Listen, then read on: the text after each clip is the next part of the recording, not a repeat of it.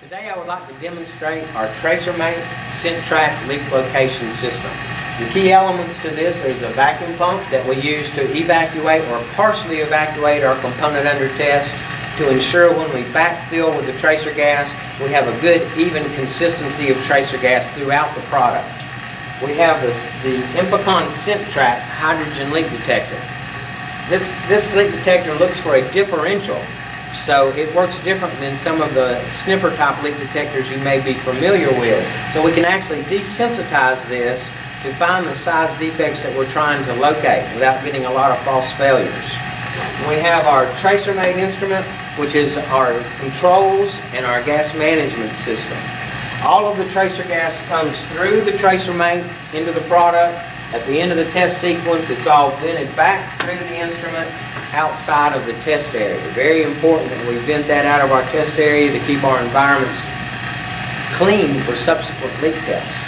Today, to do this demonstration, I've chosen A-Coil. Now, we are by no means recommending this leak location to find a tenth of an ounce per year leak. That is the typical leak rate specification for this product. But this product is typically leak tested upstream of that fine leak test. They perform a gross leak test. So this is suitable for anything that be, can be detected with a vacuum decay, pressure decay, or mass flow technique. So to simulate a leak into this product, I have a 200 cc per minute leak. Now that's a, a large leak. I would consider that a gross leak. That is a, a, uh, the type of leak that is able to be detected with a quick vacuum or a pressure decay that's typically used for this type of process. 200 cc's per minute nitrogen with one atmosphere differential, that's thousands of ounces per year. So once again, this is a leak that can be detected with a pressure decay, vacuum decay, or mass flow type technique. So I'm going to plug the leak into the test line. We're going to come to the tracer and begin the test sequence.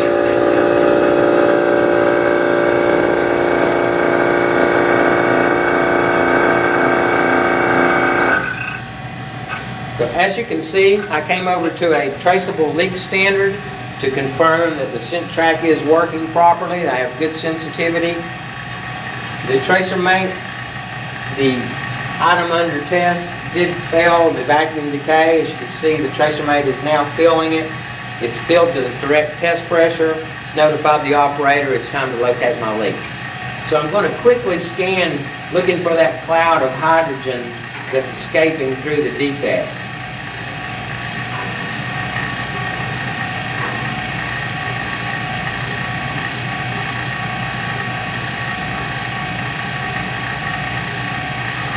Okay, you can see that I'm very close in proximity to this very large 200 cc per minute leak, but notice I'm not getting any false failures, any signal. So it's only when I come past the leak that the unit responds and tells me that I am at the leak. So I can come away from the leak and I'm going to go back to it to confirm my, to confirm my initial findings. So once again, I can easily come, I can check these joints very close to that very large leak, and it's only when I get to my highest concentration of hydrogen that the Sentrac instrument goes off. So I'm going to go ahead and hit the start continue, just like I was going to make a repair in this assembly. Notice the tracer mate, all the gas is being vented out through the tracer mate, out of the test area. My leak detector is not sitting here alarming. So now it's notified me the test sequence is completed, so I can disconnect my test lines, make my repairs, which is going to be very easy for me today. I'm just going to remove my 200 cc per minute leak standard. Now I'm going to go back, acknowledge the reject, and I'm going to run the exact same test cycle.